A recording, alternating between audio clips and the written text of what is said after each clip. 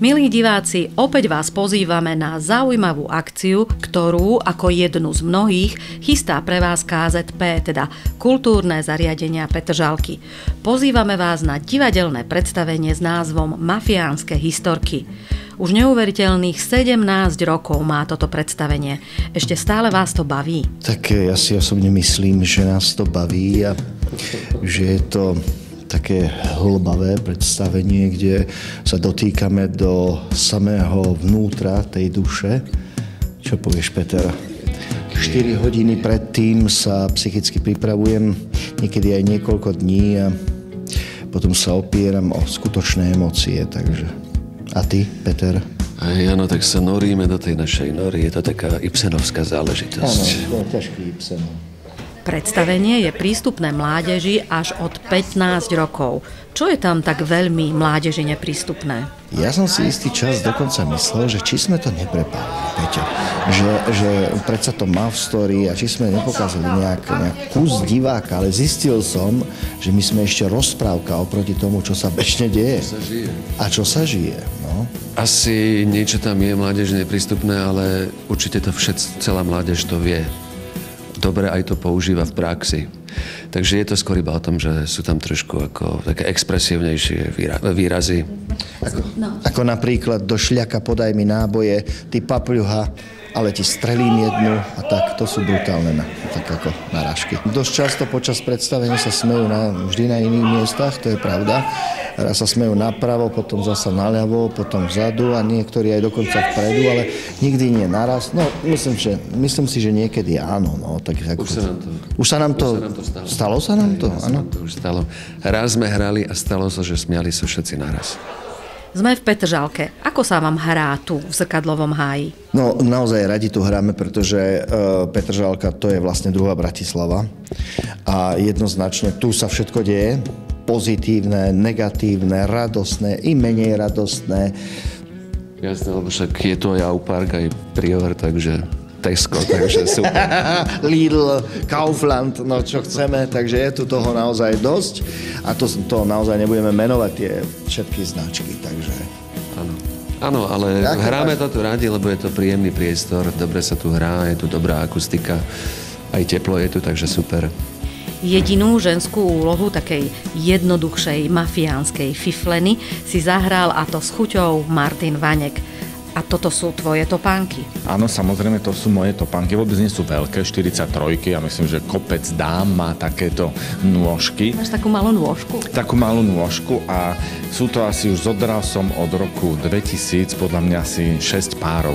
No nie pretancoval, ale prehral som 6 párov takýchto topánok, ale z pôvodnej inscenácie, kde hrám mafiánsku sestru, sa mi zachovala iba podprsenka. Ostatné časti už tradične mením, aj keď som prišiel na takú veľmi, mal som také sieťové pančušky a tie, sa- na tých sa robia diery, samozrejme sa zväčšujú, ale pretože tak nie som taká hygienická dáma, ktorá by robil, tak som prišiel na to, ako sa dajú štopkať. A to je, možno dávate pozor majiteľky tých sieťových pančušiek so žuvačkou. So žuvačkou sa to tak zmaglá a potom fakt asi po dvoch rokoch som mal také ďubky, som mal krásne krásne také reliefné pančuchy. Takže toto je môj taký zážitok s pančuškami a s tým- s týmto predstavením. Prischlo mi to veľmi, e, veľmi jednoducho prozaicky, pretože kolegyňa, ktorá túto postavu mala hrať v divadle, kedysi dávno tá otehotnela tesne predtým a nebol kto iný by to mohol zahrať, iba ja svojim, svojim prejavom. Keď sa hrá jedno predstavenie dlhých 17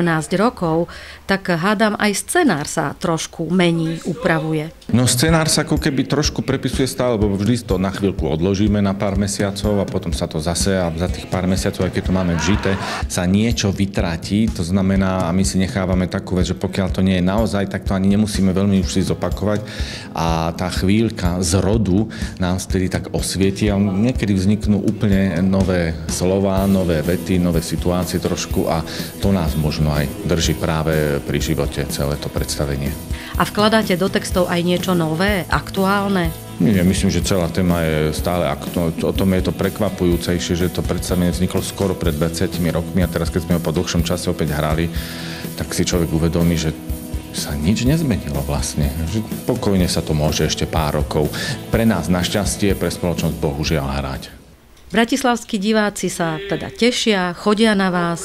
Ja si myslím, že všetci to chcú, teda tí, čo to chcú vidieť, tak tí to už väčšinou videli raz, dva razy a veľmi veľakrát práve tu v Zrkadlovom háji, pretože sem sme chodievali hrávať e, veľmi veľakrát. To znamená, je to jedna z taká zo stálych scén tohto predstavenia.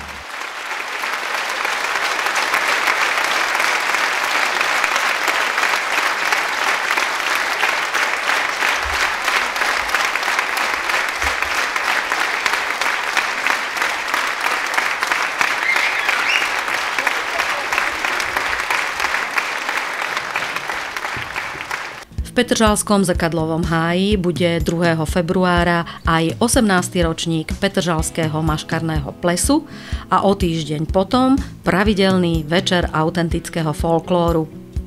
Organizátori samozrejme nezabúdajú ani na deti a môžete sa tešiť aj na divadelnú hru Klamstvo s Emíliou Vašáriovou či Milanom Kňažkom.